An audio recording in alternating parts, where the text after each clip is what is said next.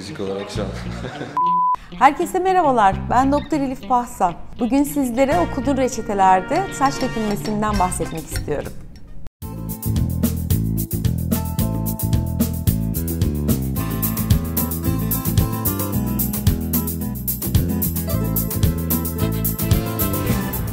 Saç dökülmesi çoğu kişinin muzdarip olduğu konulardan bir tanesidir.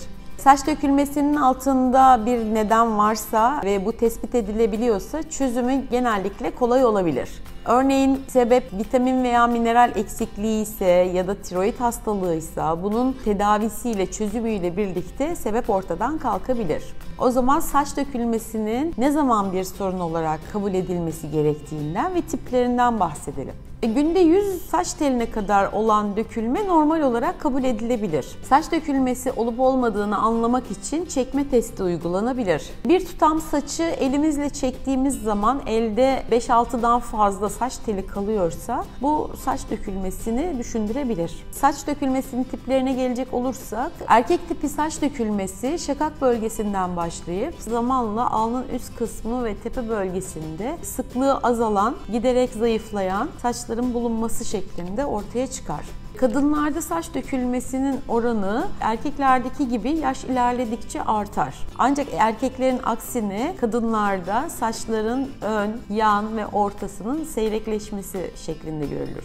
Saç çizgisi geriye doğru gitmez. Ayrıca kadınlarda tam kelliye pek rastlanmaz. Bu şekilde saç dökülmesi kadınlarda hormonal ve yaşa bağlı olarak ortaya çıkmaktadır. En sık gözlenen ve kalıtsal saç dökülmesi olan androgenetik saç dökülmesi olarak adlandırılabilir. Bu saç dökülmesinde genetik yatkınlık ve testosteron türevi hormon olan dehidrotesteron rolü oynamaktadır. Zaten günümüzde kullanılan saç damlaları ve serumlarda da dehidrotestosteronu bloke ederek etki gösteren enzimler kullanılmaktadır. Bu durumda tabii şu uyarıyı yapmak gerekir. Piyasada bulunan markasız, ne olduğu belli olmayan, nerede üretildiği belli olmayan bu tarz ürünlerden de uzak durmakta fayda var. Çünkü bu ürünlerin fayda görmesi beklenirken istenmeyen yan etkilere neden olması da olasıdır. Saç dökülmesi nedenlerinden diğer bir neden ise strese bağlı saç dökülmesi diyebiliriz. Ağır bir stres sonrasındaki 3-4 aylık süreç içerisinde kendisini gösterebilir. Yani şu an yaşanan yoğun saç dökülmesinin nedenini 3-4 ay öncesinde yaşanan yoğun bir strese bağlayabiliriz. Bu yoğun stres ortadan kalktıktan bir süre sonra saçlar kendisini toparlayabilir. Ancak bu süreç bir yıla kadar da uzayabilir. Böyle uzun bir süreyi de kaplayabilir. Saç dökülmesi nedenleri arasında vitamin mineral eksiklikleri de atlanmaması gereken nedenlerden. Bu yetersiz ve dengesiz beslenme nedeniyle ortaya çıkabileceği gibi gebelik ve emzirme gibi vücudun ihtiyacının arttığı süreçlerde de ortaya çıkabilir. Bunlar dışında bazı sistemik durumlar da saç dökülmesine neden olabilir. Örneğin tiroid bozuklukları, anemi yani kansızlık, ağır geçirilen enfeksiyon durumları veya cerrahi durumlar da buna neden olabilir. Peki saç için gerekli olan vitamin ve mineraller nelerdir diyecek olursak, A vitamini hücre büyümesi için önemli olduğundan saç hücrelerinin çoğalması ve büyümesi için gerekli olan bir vitamindir. Belki de saç dökülmesi için en önemli vitamin gruplarından bir tanesi de B vitaminidir ki bunların arasında da en önemlisi B7 vitamini olarak bilinen biyotindir. Biyotin eksikliğinde saç dökülmesi şiddetlenebilir, deri ve tırnak sağlığında da bozulmalar söz konusu olabilir. Yine saç sağlığımız için önemli vitaminlerden bir tanesi de C vitamini. C vitamini saçın da yapısında bulunan kolajenin üretimi için gereklidir.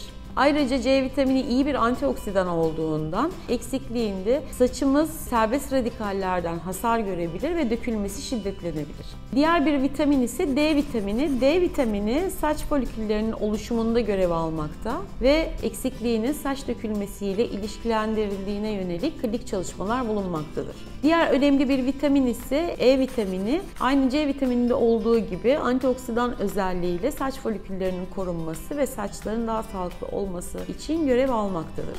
Saç için önemli minerallerden bir tanesi demirdir. Demir kan dolaşımında eritrositler içerisinde oksijenin taşınmasında fayda verdiği için saç foliküllerinin kanlanması ve oksijenlenmesi açısından önemlidir. Çinko ise saç büyümesi, saç foliküllerinin onarımı ve foliküller çevresindeki yağ bezelerinin iyi çalışması için gerekli olan bir mineraldir. Yine çinko eksikliğinde de saç dökülmesi ileri düzeyde görülebilir. Bu vitamin ve minerallerin yerine konması, takviye kullanılması saç dökülmesini azaltabilecek bir faktördür. Ayrıca yeni saç çıkması konusunda da destek olacaktır. Yeni videolardan haberdar olmak için kanalıma abone olup bildirimleri açabilirsiniz. Ayrıca Instagram hesabım olan Doktor Elif Pasta hesabımı takip ederseniz çok daha yeni, güncel, farklı bilgilere ulaşabilme şansınız olur. Hepinize iyi günler dilerim.